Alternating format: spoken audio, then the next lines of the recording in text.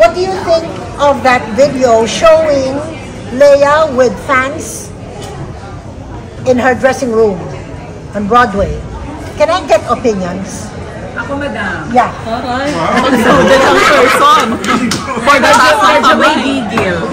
Hindi kasi dapat talaga yung audience, in the first place yung audience, dapat hindi talaga siya umabot dun sa dressing room ni Leia. So, irespeto niya yung um, private space ni Leia. So, for me, yung reaction ni Leia, valid yun.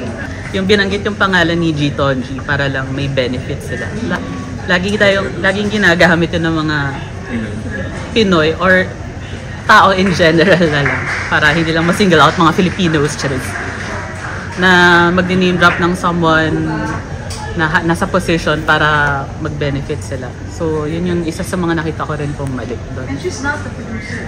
She's the liaison. Who? G. Tonji is not the producer. Yeah. She's a liaison officer.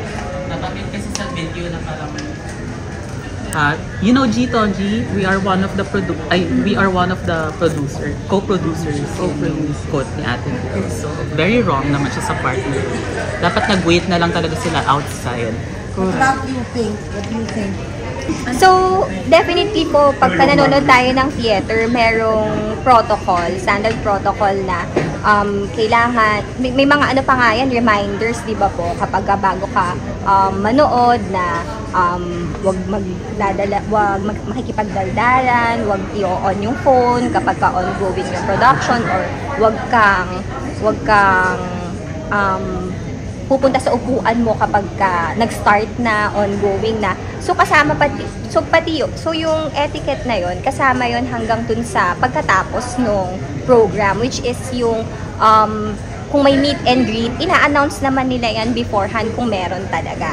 Pero for a theater um, production kasi, very formal event yan eh. Tapos at the same time, kilalanin mo rin yung artista na lalapitan mo, si Leia. Ever since, known na siya um, in terms of saying na I am very strict with my boundaries. May video pa nga siya before, di ba, yung pagkain na parang I don't take food from strangers kasi turo yun ng mommy ko sa akin. Okay, good nga yung intention ng pagbigay sa'yo ng food, pero what if um, ano pala yan, gusto kang lasunin or something. So, hindi niya, kumbaga may ganun siya na thinking, mindset, yung mga kung ano yung tatanggapin niya. So, dun sa naging incident na yon talagang hindi mo siya pwedeng basta i-approach. Alam mo na, na hindi mo siya pwedeng basta i-approach. Pero ang kagandahan, um, hindi nasabi niya in a very firm way without really being disrespectful of the fans. Kailangan natin intindihin kasi si Leia, mula nung bata siya, yung training niya kasi talaga as a theater artist, ganun naka-strict. So, kumbaga dala-dala niya yun mula nung, mula nung ah, ah, repertory days niya hanggang sa umabot sa ano yung status na ngayon. Na parang ah, yung mga tao, tama yung isang nabasa ko eh, yung mga tao gumagalaw according to her ah, rules. Kumbaga, na-establish na yung pangalan ni Leia Salonga eh. So, dapat yung mga Pinoy din dapat i... Pag natin ano, na porket Pinay siya. Kunya, kasi may sinasabi yung ano, nag-upload na ano, na nagbayad kami ng mahal. Tapos kahit man lang sa papicture sa akin, pinagbiyang kami. Tapos uh, Pinoy rin naman kami. Parang hindi yung tama eh. Na yung binayaran mo, yung performance nila, hindi yung para ma ano mo, uh, ma-invade mo yung privacy nila, hindi kasama dun sa binayaran mong mahal. Kasi binabayaran, nagpe-perform si Leia for that, hindi yung ano na for picture taking, mga ganun-ganun. Kasi artist siya. Intindihin natin yun. Unang-una po yung reaction ko doon, ba't hindi po nagpaalam yung mga fans kung pwedeng pumasok po sa dressing room ni, ni Miss Leia. Kasi po dun sa, tungan ko lang po ni Ate Tita, naka-try na din po kasi ako sa theater, yung kay sa PETA po. Tapos po, meron po mga nangungulit na press na pas, pap, ah, papasukin daw po sila dun sa dressing room ni Alexa tapos ni Baby. Tapos po, hindi po pumayag yung, ah, yung ah, PR na papasukin ko yung mga. Kasi sabi ko na for interview, ganyan. Tapos sabi po nung, nung PR, ah, hindi daw po kasi privacy daw nga daw po. Tapos parang nag-memorize daw po sila ano ng reply nila. So, bibigyan daw po ng time para sa picture taking, sa interview, ganun po. So, yun po, yung kay Leia po, siguro yun lang po yung kulang dun sa mga fans na bakit hindi po sila nagtanong kung pwedeng pumasok dun sa dressing room po ni Leia. Tapos nakikita ko naman po sa video na ah, polite naman kung nagsabi si Leia na next time, ganyan-ganyan. Unang-una kasi si Leia became famous not for courting public adoration. Hindi siya nagpa-tweetams, hindi siya nag hindi niya pinablicize yung sarili niya. It's really out of her talent. Kaya siya nagsumikat and all. She earned it. So, kumbaga, pinag umakyat siya, naging sikat siya because of how good she is as a singer. Pangalawa, I tried kasi going to the backstage ng concert ni ng aking favorite na si ano ah, Patty Austin nung pumunta siya rito. We really had to go through the proper channels para mangyari yung dream ko na makapagpa-picture with her. It happened, it was very quick, it was very professional. I had to be escorted by the guard. Hindi yung tipong pagdating ko pa lang ay naka, hindi, hindi siya ganun. I was actually given the signal to ano, bring out my phone already when it's the right time. And then, the friend, uh, parang the owner brought a friend who was not part of the list. Kahit na ano yun ha, producer na yun ha, kaibigan ng anak ng producer, hindi siya nakapagpa-picture. So that was how strict. Dito yon na nangyari sa Soler. So, yun lang. Ah, pagdating sa entablado, that's fine. Pero, pagdating na dun sa dressing room, kapag tinaas na niya yung paa niya or tinatanggal na niya yung buhok niya kasi si Patty nagsusuklay na siya nun eh. Parang bigay mo na sa kanya yun. Let her breathe. Let her relax after the concert. If you're really a fan, you should appreciate that. And to me, I was just grateful that she agreed, but I did not actually expect that it would happen. If I sum up all that you've said, your point of view, the, that the point of view that you've taken is that of a media person from what you know, from what you experience. And you give it to the star that the star needs her space, her private her privacy, her rules, and you understand the fatigue. You understand that it's a performance that she's given, be she's uh, given just recently, and that she should be allowed to rest. Also, if I were to agree with all of that, I find that I have to say there was something of subterfuge in the manner in which the the person with the camera was talking.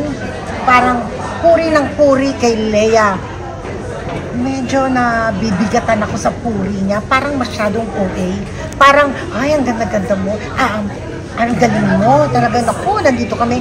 It did not, for a moment there, sound sincere from my point of view. And true enough, after that, siya yung nag-release ng video because kanya yun eh.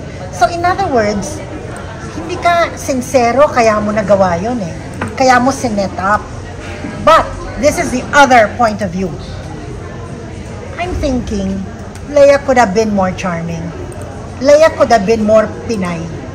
Leia could have been more aware of this culture where the idol is practically family. We have a tendency to think of them as belonging to us. And for the most part, the star benefits from that. That's the reason a star can make money from endorsements. That's the reason a star stays big. That's the reason a star can command uh, salaries and jobs, not just endorsements, but just the plain job itself. Because if nobody noticed you, if you had no fans, you're lucky if a producer fancies you. But otherwise, if there is no buzz, you probably will not remain a star. So I think that if she could have had a bit more of a charm of even of say um, um,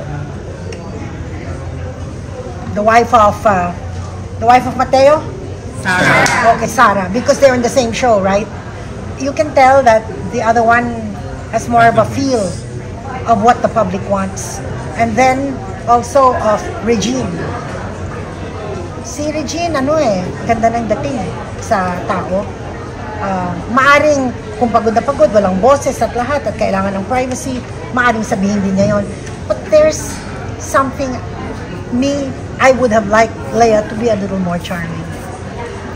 Maybe it's also the language and the style because that's how she was taught Montessori and stuff correct and uh, but um, when you talk like this no that those are not the rules. Go over there. You know yung exit dun kayo. There's something maybe she doesn't mean it to be like that but it sounds almost on the brink of patronizing almost on the brink of superiority. Um, na itong mga ito, ay nako, katanga-tanga, bakit hindi sumusunod? Ang linaw naman ng sinasabi ko. Ganon yung dating. Meron kang dadagdag doon? Doon kayo sa may pinto, ay, sa loob ha, sa loob, hindi sa labas. Exactly. She was trying to tell them, I will have my picture taken with you. Don't go out. I tried no? Kung binuksan ko yung pinto and then may, may fan na may camera, I don't know. No, no, exactly. No, I agree. it's weird. In fact, all the issues of etiquette, all the issues of etiquette that you mentioned are fine. In fact, ang ganda nga ng pagkakalatag nyo na lahat na cover nyo na sana naman may konting respeto dun sa artist. Binigyan ka na ng talento niya. Bigyan mo naman siya ng konting ah, kaluwagan. Baka gusto itaas yung paa, gustong ano, gustong ah, ano parang mag-relax, hindi hindi spine straight all the time. But I'm just saying, from the other point of view,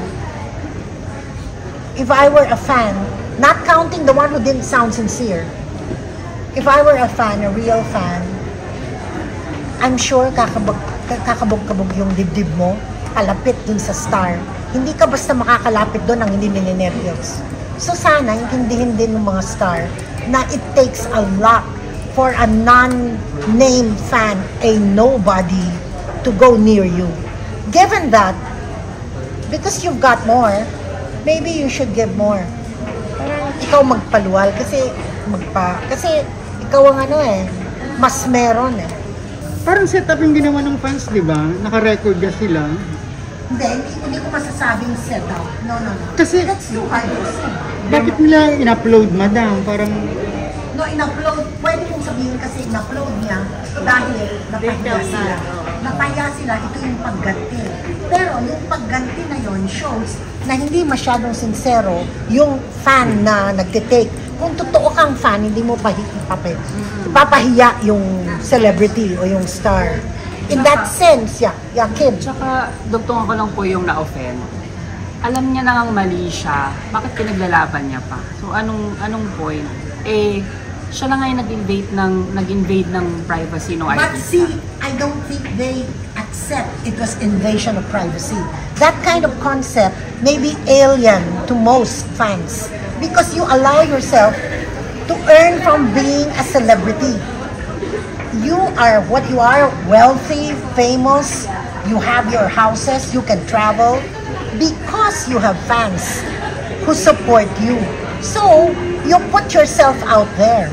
So, when you suddenly ask for privacy in a moment when you're not in the mood, it seems almost whimsical to ask for it. So, the fan is confused. Ah, gusto ba nilang malapit kami o hindi? And those who are really Pinoy na Pinoy na Pinoy, mga Nora Honor, mga ano, mga sanay na sanay. Vilma Santos, ah, Vilma Santos, bow. Sobrang bait sa fans. At saka magalang. medyo meron siyang role sa fans. Kahit na nung sa isang press con ng Uniqlo, hindi siya yung ano, yung typical na ah, yung very friendly. Sabi niya, yeah, I'm going to have a picture with you Actor Magnifico. Pero very professional ang dating. Pero kung si Sarah yun, Or Sinora, di ba? That's exactly what I'm saying.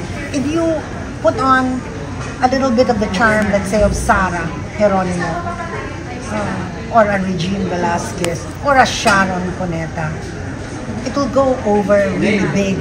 But I guess, given the background of uh, Leia, a Montessori child, essentially more stage, more theater than movies, less fan-based than she is audience-based. When you think about it, it may not be that easy. But